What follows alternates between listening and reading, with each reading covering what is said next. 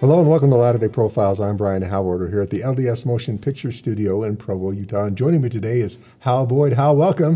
Good to have you here. Great to be here. Thanks for having me. Hal has many titles the editor of the Deseret News, and previously the opinion editor. You might have read some of those. Also, you've been an associate professor of family law and policy at BYU. Widely published, has uh, at least a few books uh, Are Christians Mormon, College for the Commonwealth, Psalms of Nauvoo. You've been a guest on a lot of shows, NPR, CNN. So welcome. Thanks for taking some time to come and visit with us. Well, this is this is the only show I've wanted to be on, so I'm grateful to get the invite. Uh, let's talk a little bit about your background. You say you're born in Ohio, but you grew up primarily in Massachusetts. Yeah, yeah. Born in Cleveland, uh, about 30 minutes outside of Kirtland, and um, uh, grew up largely in a suburb of Boston, in between Boston and Worcester, to be precise, a little town called Northborough. Hmm. So, yeah. I know there's a good collection of members of the church there. How was it growing up uh, being a member of the church in that area? It, it was wonderful. I mean, you don't really know what you don't know, so that hmm. was just growing up uh, for me. Uh, but as I look back on it, you know, we had some remarkable opportunities and people in the stake with immense experience in the business world and academia and all sorts of different spheres of influence. And I remember we had a young men's activity. Uh, it was uh, it was sort of a, a multi-day kind of a, a, a young men's uh, I don't know what you'd call it um, sort of leadership training. It was held at Harvard Business School, and so it didn't occur to me, you know, years later that. Uh, not everyone gets that kind of an opportunity, and they were doing this for all you know, all sorts of kids from all sorts of different backgrounds who are members of the church, um, from urban environments to suburban environments, from you know different uh, socioeconomic. And it was just a remarkable opportunity to gather together and uh, you know talk about spiritual things, but also talk about uh, leadership preparation, secular things. So I I loved growing up in, in Massachusetts. I will say, I've always uh, you know when I was young, coming out to the West Coast, I felt drawn to the West, the open spaces, sure. the uh, you know, the, the big sky, uh, the larger beaches uh, when you get to California. And so I, I did fall in love with the West, and I now you have adopted Utah as, as our home and, and, uh, and embrace that, embrace that identity. So although I loved growing up in Massachusetts and East Coast and Ohio. I also I love Utah. Happy where you are right now. Uh, you know, as you're growing up, uh, what were your kind of career aspirations? What were you looking to thinking to do? Oh, I had very. I mean, I was very myopic. You know, as a as a teen, you're just sort of thinking about. Uh, sports and mm-hmm. you know uh, hopefully you could get to go out on a date those types of things so very very rudimentary i wasn't uh, I, I don't think i was uh, you know, as, as they said about Joseph Smith, he was a serious youth. I was probably I was a less serious youth, and um, but I knew my fa- my father had uh, been an attorney, so I thought uh, you know that's perhaps something out there that that I might look into eventually. Um, and uh, and and he he actually he my father uh, wanted to be a journalist, and worked as a journalist, and then realized you know he couldn't really make ends meet fully as a journalist, and so went into law and and uh, so I you know I sort of wanted to be a lawyer and ended up being a journalist, and so we have different different uh, things that way. But but I you know I sort of stumbled into journalism, and he really loved it. It was a passion for him, and so that was that was in my home, journalism, law. My mother was a school teacher, so we we understood the value of education. Yeah, I got you. So you went to BYU and you chose. Did you choose philosophy right off the bat? When did you choose? No, I think a, I I think I I chose English. Mm-hmm. Uh, so I first went to we you know just I did a summer semester, mm-hmm. and I sort of the plan was I was gonna. My parents had gone to the University of Michigan, though I was born in Ohio. They're sort of transplants from sure. Michigan, and um, you know I thought that's where I was gonna go and a, friend of mine uh, persuaded me to go to a summer semester, if I'm recalling the details right, at BYU, and uh, had just an amazing summer, a fantastic summer. And after that summer, went on my mission and uh, decided, you know, BYU's the, the place for me. And um, I can't remember how I've started studying English and enjoyed that you know, it's a common story that when you begin, you know, college, you sort of don't really know your major. So I think I was just feeling things out. Maybe was had in the back of my mind, maybe I'd be going into law. English seemed like you have to know about words and write, and so that was probably probably in the back of my mind. I, I really enjoyed, had some very influential professors during my time, but I was drawn toward kind of the philosophical elements of it. Um, the structure of arguments, uh, logical reasoning, and and the philosophy itself. Just interesting to hear you know different conceptions of ideas and what authors were trying to get at with their material. And so th- so I was drawn to that, and so I started just to take take more core philosophy classes. And then I thought, yeah, this is this is um, you know this this speaks to me and I it was it was a wonderful education. I loved my professors at BYU, both in the philosophy department, but I, I really enjoyed you know the core courses. Mm-hmm. I, I enjoyed taking biology. You know, it was I got to encounter my biology professor, uh, you know, in in another setting recently, and I went up to him. I said, you know, I I want to tell you, I was in a hundred person survey course, and I loved your your class, and we we read these best science essays in the class, and so I just fell in love with my BYU experience, both in the philosophy department, but more broadly, you know, my religion professors, my general Yeah. professors, and and tried to to drink deeply uh, while I was here. I I graduated in a little bit lo- longer time frame than it took my wife to graduate with her master's in accounting, so I wasn't as efficient. But I really, really enjoyed my time uh, at BYU. So Did you meet your wife at BYU? yeah, so we we met just outside of the Marriott Center. Uh, I sort of you know joked I was looking for uh, an accountant so I can know, not have to do my taxes. Uh, but she we we fell in love and have been married. Let's see, 15 years. So Wow. What's the timetable? So you ended up going to Yale for law school. Uh, Yeah. You graduated. Was that right away, or did you have some time in between? Uh, so so ri- right as I was graduating, I, the plan was actually to go to the Midwest because that's where my family was at the time. My my in-laws were were actually in Ohio as well, and and my uh, my mother again, she's a native of Michigan, and she had kind of moved back there. So the plan was to sort of end up in the Midwest, and we had picked a school at uh, University of Chicago, and kind of picked out housing, and and just a very strong kind of spiritual uh, prompting to go in a different direction led led me to uh, working at the Deseret News. So that's what I did directly out of uh, out of school. So And how did that come about? It's like a definitely direction, but it wasn't your what you had in mind. yeah, least. certainly wasn't in my. Again, I don't think you know you learn you learn about yourself. Um, over time, I think, in the, and you learn about your spiritual gifts. You learn about uh, maybe your predilections, interests, and I certainly learned about myself through that process. I think I was, uh, you know, I'll go to law school, maybe practice corporate law. In retrospect, I don't think I would be a very corporate, a good corporate attorney, and uh, have a lot of respect for those who are good corporate attorneys. Um, but uh, but yeah, so so kind of in that process, I think I was headed that direction with the in the headed to the University of Chicago. I thought you know that's probably what I would do, um, and just I think. Uh, you know, in, in my belief, I think the Lord sort of saved me from myself and moved me in a direction where where I needed to be. That doesn't always happen, but in my case, that that that occurred. Uh, at least uh, I I feel that way. Yeah. So how long were you there at the Deseret News before you went So it on? was, to a, it was a short stint uh, at the Deseret News. It started out as an internship, and then and then because I was a little hesitant that you know giving up going to this Yeah. law school, and so we were sort of conflicted that way. But after just a, a couple weeks, uh, it became a full time role, and then I ended up working uh, for the church um, in what was then the public relations Oh, yeah. department, um, and so I had some wonderful experiences there. And then subsequent to that, ended up going to law school. Yeah.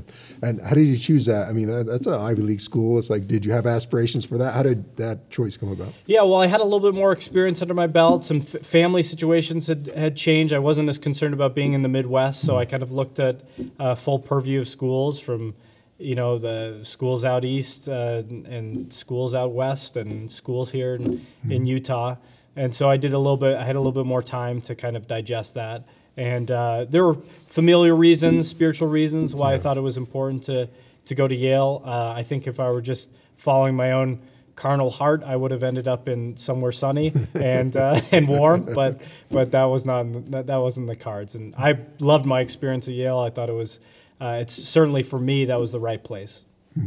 You ended up uh, doing, you've done lots of things. You ended up uh, associate professor of family law at BYU. I'm not sure I got the right sequence of things, but after you finished with law school, where did you go after that?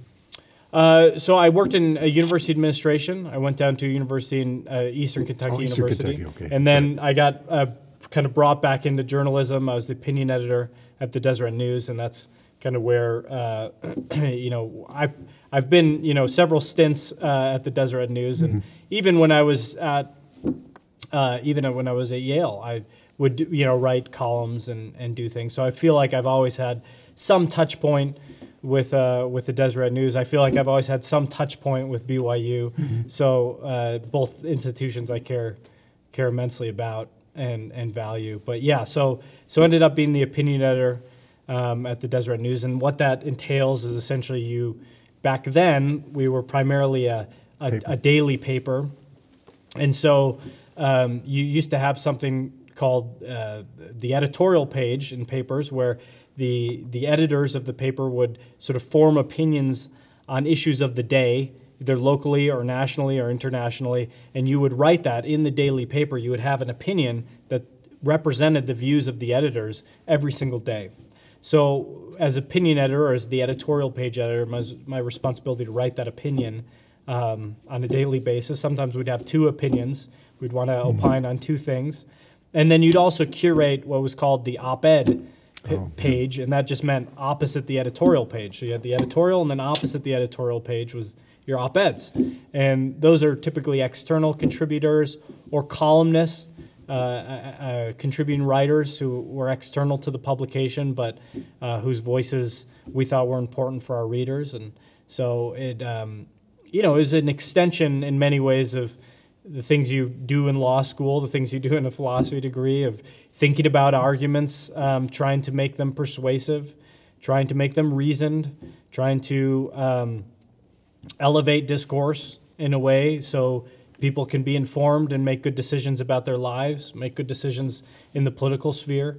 Um, and so, uh, really enjoyed that that experience. It's certainly a frenetic uh, industry. You're you're in in the uh, communications arena and in the journalism arena in a way, and so you have a taste a taste of that. But um, but it, it was a, a- certainly uh, not something I expected. Certain didn't seek out, but uh, felt like it was an important step in my life and and something I, I valued, an experience I valued for, for sure. Uh, how do you feel about writing? What's what's your relationship with the writing I, process? I don't, you know, I just watched, I, I was flying out to Washington, D.C. So one of the products we have now is Deseret Magazine. Yeah. And uh, we think of it as sort of a monthly, it's a 10 times a year, which is a publication schedule akin to The Atlantic. And uh, the Atlantic Monthly, which is a, another sort of national magazine. And we held we had an event out in D.C. in conjunction with the Wheatley Institute at BYU and the National Cathedral um, and uh, the Wesley uh, uh, Theological uh, Institute or Seminary. And so uh, we sort of came together and curated this conversation about uh,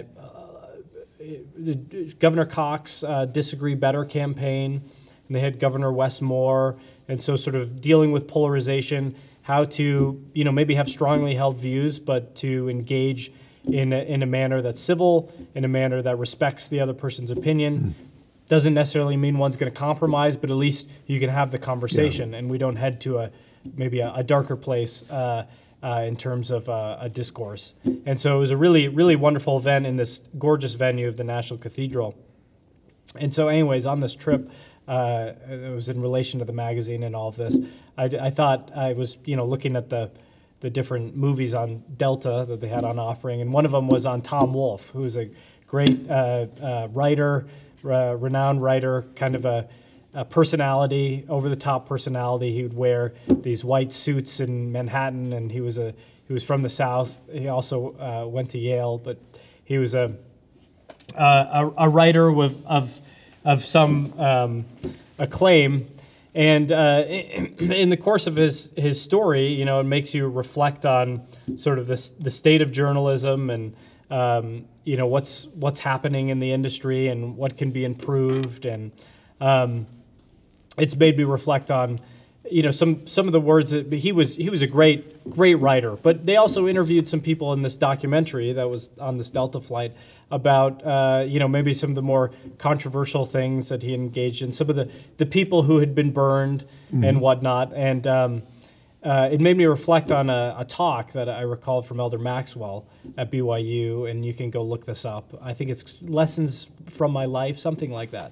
And he talks a little bit about his experience with journalism. So he ran a program, I believe, for KUER, if, if I'm remembering correctly, where he did interviews, interviews of individuals, and he said, uh, there's so much we can learn through walking in the garden of the lives of great individuals. And he said there's so much we can learn from walking through the, their garden rather than driving a Mack truck uh, uh, through that garden. And, you know, the garden's the same, right? Uh, uh, but, you know, the way we, we go into it, um, the way we go into it can be like a Mack truck or it can be it can be as one walking and observing and appreciating. And so it, it's it's made me reflect on, you know, where we are uh, in, in in journalism uh, th- through my own sort of career, um, but but also you know I think um, in this moment how important it is uh, you know that we we exemplify civility, we exemplify um, truth and light, and seeking to provide context, providing facts, yes but what, what do those facts mean? How are they connected? And so this, this recent trip, going out into DC, have, hearing that conversation, reflecting on the words of Elder Maxwell and sort of my own career with my own relationship with journalism, it's made me a little bit, um, I, I, it's made me hopeful that we, you know, we can improve things uh, when you know we can dedicate dedicate ourselves to the better angels of the craft and Yeah. uh, and and do a good job as as as you do on this program. Yeah, we try, right?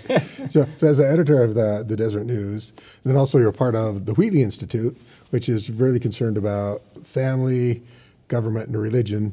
Um, you know, what what do you see as the role, like the Deseret News or journalism in general, of trying to make those things work together? Because right now it seems like obviously there's a lot of really divisive stuff, both in journalistically and, and what's going on. Uh, what do you see as the role that uh, journalism and the Deseret News in particular can do to? Yeah. So when the. Deseret News was founded, there's this this pretty remarkable uh, little scrap of history that uh, you know for the few people who are interested in the history of the Deseret News, you know, uh, uh, probably read about. But uh, you know, Brigham Young, when he's uh, when they're preparing the saints to go out west, uh, they they write up this memo and the memo is giving uh, is, is to be given to if i remember W. W. phelps to go out east and acquire a printing press that they could take across the plains and this was to this memo was going to aid uh, if, if, if i'm recalling correctly W. W. phelps in obtaining it to say to get the saints to rally in the east coast to help them obtain a printing press and so he said um, in the in the passage they, they write this out and says it's important uh, to have this press so our children can have books and that the saints can have new things to feast the soul, which I thought was a beautiful passage. Um, and so they took this press and they lugged this press across the United States to bring it to the valley so that their children could have education, their children could learn, and so the saints could have new things to feast the soul. And so, um, you know, the the Deseret News when it started, 1850, um, it it started with the motto of of truth and liberty, and that was something that the saints cared deeply about. They cared about truth and truth with a capital T. And so, when you talk about these these things such as faith, religious freedom, family, civility, uh, uh, community, uh, these are these are core truths that are important to our souls individually and collectively. And so, at the Deseret News, we want to champion those uh, because we care about truth. And we don't suspend and say, well, we, we have no opinion about the truth. No, as an institution, we know the fount from which truth derives. And one of my colleagues, uh, Doug Wilks, who's been the editor and, and the executive editor, he talks about, you know, we're not afraid to say we understand that Christ, uh, Christ is the fount of truth, and, and that flows. And so when it comes to issues of family, we want to be one of the best in the nation covering issues related to the family, whether that's family policy or best practices in the family or family formation, um, ways to help families succeed in their everyday life. Uh, when it comes to issues around faith and faith in the public square and preserving core institutions, religious institutions, and helping individuals flourish uh, through uh, faith in God and responsibility to God. Uh, that we want to be, we want to be you know, a, we want to be on par with any other publication in terms of covering that and covering religious freedom uh, types of I- uh, issues, human dignity, and then uh, with regard to issues around civility, you know, the prophet's words to um, be peacemakers. You know, uh, President Oaks's uh, charge um, in terms of the Constitution and on contested issues seeking to moderate and unify. So we want to be involved in that cause, and we want to exemplify that cause. And of course, we're, we're, we're also you know reporting the news, right? Right, yeah. And so um, we report in those categories, but some things are just, uh, as they say, all that's fit to print is the is the New York Times uh, a phrase, and we think about you know what's what is interesting to our readers. We want to cultivate an audience. We want to help elevate our readers. We want them to come to a space where they're learning something, they're understanding something that improves their lives, helps them navigate their lives. So that's what we're all about. The Wheatley Institution has been, uh, uh, Wheatley Institute has been a remarkable partner uh, in that regard and is doing some incredible things in terms of research, curating important speakers, um, uh, uh, helping students um, have a, a, a better understanding of the importance of these arenas. So we, we think of ourselves as equally yoked with many of our partners from BYU, BYU Idaho, um, in some of those core core causes, and we also understand our responsibility as as reporters, as journalists, to uh, document the news and to uh, have a watchdog role in those important uh, essential functions Yeah. of journalism as well. Yeah. Now, someone does a search and they look for stuff written by you. You're a prolific writer. You've got lots of stuff out there. But one that I want to talk about in our last couple minutes of the book are Christians Mormon. What was the impetus for that book? Yeah. And it's been interesting as I've been reading through it. Well, I love to pay tribute to you know. Um, now I write, you know, typically I'm more writing shorter form uh, magazine or newspaper stories or uh, opinion articles, but uh, but a, a couple book projects that was certainly a fun one, and it allows me to pay a little bit of tribute to an old professor of mine, mentor, um, and uh, just a saint in in all senses of of the word, uh, David Paulsen, Dr. David Paulsen, who's passed, and uh, he was he was a, a, a University of Chicago trained attorney uh, who practiced law, then went on and got a PhD from the University of Michigan, and uh, and and dedicated his life to studying theology, uh, with a with a particular interest in the doctrines and teachings of the Church of Jesus Christ of Latter-day Saints, and he was inspired by a little project that Truman Madsen, another philosophy professor at BYU years ago, who um, and also one of the formative minds behind the Wheatley Institute, I should mention. But Truman Madsen uh, was in, was was started to document uh, the idea that there are some religious uh, traditions uh, that had at one time sort of denounced the teachings and doctrines of the Church of Jesus Christ of Latter-day Saints, the early teachings and doctrines, as heretical, as non-Christian, but then uh, sort of over the years, uh, those theological traditions, um, many many individuals within those theological traditions started to adopt ideas and teachings and doctrines um, that were sort of once revelatory or, or once uh, denounced uh, that had been kind of revealed by Joseph Smith. And so we decided, uh, and I, the real credit goes to Dr. Paulsen, uh, to do a real thorough investigation of this. And he rounded up many students who worked on this project over years. Uh, I was privileged enough to be uh, co-author and I think uh, help sort of lead the the project to its its completion. But really, he deserves the credit. And Truman Madsen. What we did was we looked at pretty systematically over the the past century and plus uh, moves along uh, by mainline Christian thinkers and others toward once viewed as heretical theological positions. So the idea of uh, a theosis, which we encounter in the New Testament, the idea that um, um, man through the, the, the, the grace and atonement of Jesus Christ can become like uh, even unto uh, our Heavenly Father um, through, through our progress and through, through His power. And uh, uh, that is that uh, that's probably one of the most powerful chapters in seeing, you know, sort of that teaching once just roundly denounced as you know as something heretical and and through decades and decades and decades you see even now conferences on Calvin or on Martin Luther the great uh, reformers um, saying no they they they not only believe this, they taught it, and they taught it in pretty profound ways. And you see it in in, uh, in many other faith traditions and whole conferences dedicated to this. And so uh, we go through that. We go through you know doctrines such as uh, the belief that marriage is eternal. Uh, many of these sorts of teachings, um, and uh, and just sort of document those those doctrinal shifts and. And again, he, you know, incredible mind. I'd highly recommend all of Dr. Paulsen's work. His work on Joseph Smith and the Problem of Evil is is pretty significant work. He gave a BYU speech on that that I, mm. I can't recommend highly enough. And mm. so, yeah, that was that that project, and I was just grateful to be a part of it, play a mm. role there.